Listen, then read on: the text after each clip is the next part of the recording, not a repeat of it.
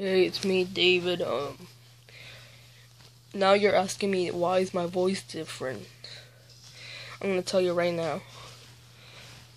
Well, yesterday I turned 13 years old now. So, that's all I wanted to tell you now.